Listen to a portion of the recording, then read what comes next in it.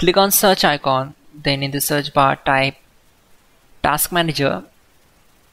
Now select Run as Administrator.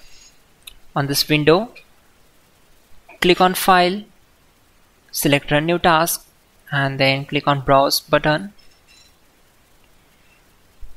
Now select this PC, open C drive, then open Windows folder from here just scroll down and open C system32 folder.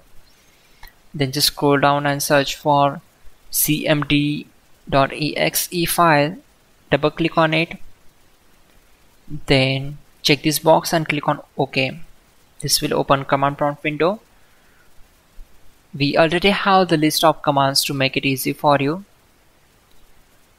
So we need to open Google Chrome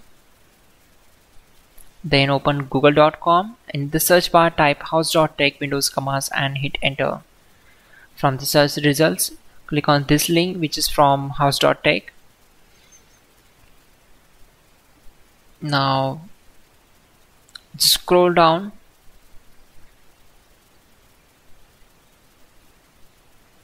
and we need to copy these commands so copy command number 12 go to command prompt window Simply right click on command prompt to paste that command and hit enter to execute it.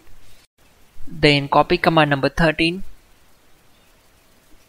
and right click and paste the command, hit enter.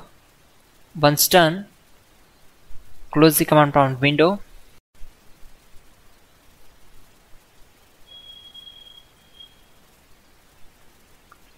Click on search icon. In the search bar, type color management. Then click here to open it. On this window you need to check this option and then click on add. Select this one. Simply click on ok. If you click on add and if you want to browse color profile you can choose this option and then click on ok